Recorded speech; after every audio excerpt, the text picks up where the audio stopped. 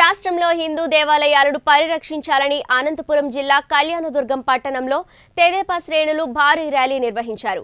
రాష్ట్ర తెలుగుదేశం పార్టీ సూచన మేరకు నియోజకవర్గంలో వారం రోజుల పాటు నిర్వహిస్తున్న నిరసన కార్యక్రమంలో భాగంగా ఎన్టీఆర్ భవన్ నుంచి తెదేపా నియోజకవర్గ ఇన్ఛార్జ్ మాదినేని ఉమామహేశ్వర్ నాయుడు ఆధ్వర్యంలో కోట వీధిలోని భవానీ శంకర్ ఆలయం వరకు భారీ ర్యాలీ నిర్వహించారు. ఈ సందర్భంగా నియోజకవర్గంలోని అన్ని ప్రాంతాల నుండి అధిక సంఖ్యలో కార్యకర్తలు హాజరు కాగా ప్రభుత్వానికి వ్యతిరేకంగా నినాదాలు చేస్తూ ర్యాలీ చేశారు.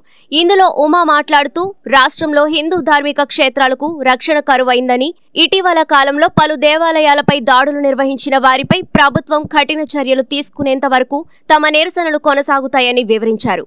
ఈ కార్యక్రమంలో తెలుగు యువత నాయకులు కార్యకర్తలు తదితరులు పాల్గొన్నారు. ఓం నమ శివాయ.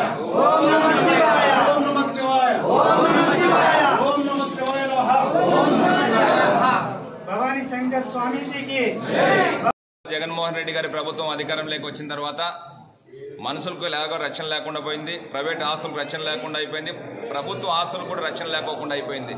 ఈ క్రమంలో ఈ ఆంధ్రప్రదేశ్ రాష్ట్రంలో ఏ రాష్ట్రంలోనూ ఏ దేశంలోనూ జరిగినటువంటి విధంగా పురాతనమైనటువంటి ఆలయాలకు కూడా దేవుళ్ళకు కూడా రక్షణ లేకుండా అయిపోయింది అనడంలో ఎటువంటి సందేహం లేదు. గత వర్షం జరిగినటువంటి సంఘటనలు మనం చూస్తున్నాం. అంతర్వేద అంతర్వేదిలో రథం కాల్పిన సంఘటనలు మనం చూసాం పదహారు నెలల జగన్మోహన్ రెడ్డి గారి ప్రభుత్వంలో జరిగినటువంటి సంఘటనలు మనం చూసాం అందుకోసం ఈ ప్రభుత్వం పైన నమ్మకం లేదు కాబట్టి రాష్ట్రంలో ఉన్నటువంటి ప్రజలందరూ సిబిఐ ద్వారా ఎంక్వైరీ కావాలని చెప్పి కోరుతున్నాం.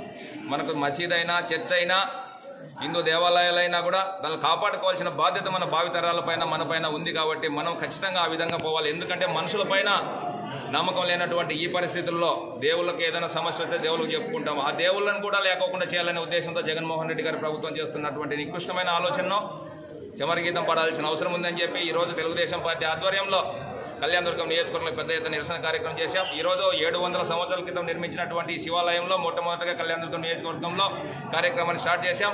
ఈరోజు శివాలయం రేపు ఆంజనేయ స్వామి దేవాలయం ఎల్లుండి అయ్యప్ప స్వామి దేవాలయం ఆ తర్వాత గురువారం రోజు షిరిడి స్వామి దేవాలయం ఆ తర్వాత వైష్ణవ ఆ తర్వాత అమ్మవారి దేవాలయం శనివారం వైష్ణవాలయాల్లో ఈ నియోజకవర్గంలో పూజలు చేసి నియోజకవర్గంలో ఉన్నటువంటి వాళ్ళందరినీ ఎడ్యుకేట్ చేసి దేవాలయాలను దేవులను కాపాడుకుందామని చెప్పి ప్రత్యేకంగా పిలుపునిస్తూ తెలుగుదేశం పార్టీ ఆధ్వర్యంలో చంద్రబాబు నాయుడు గారి నాయకత్వంలో మేము ముందుకెళ్ళి ఖచ్చితంగా దేవాలయాలు కాపాడుకుంటాం. జగన్మోహన్ రెడ్డి గారికి విన్నవిస్తున్నాం.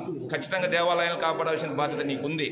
మీకు ఓట్లు వేసింది ప్రజాస్వామ్యాన్ని ప్రజల హావభావాలను ప్రజల మనోభావాలను కాపాడాల్సిన బాధ్యత ఉంది కాబట్టి ఆ విధంగా చేయాలి. చేయకపోయినా కూడా తెలుగుదేశం పార్టీ ఆధ్వర్యంలో రాష్ట్రంలో ఉన్నటువంటి వాళ్ళందరినీ ఎడ్యుకేట్ చేసి మేము కాపాడుకుంటామని చెప్పి సందర్భంగా ప్రత్యేకంగా తెలియజేస్తున్నాం.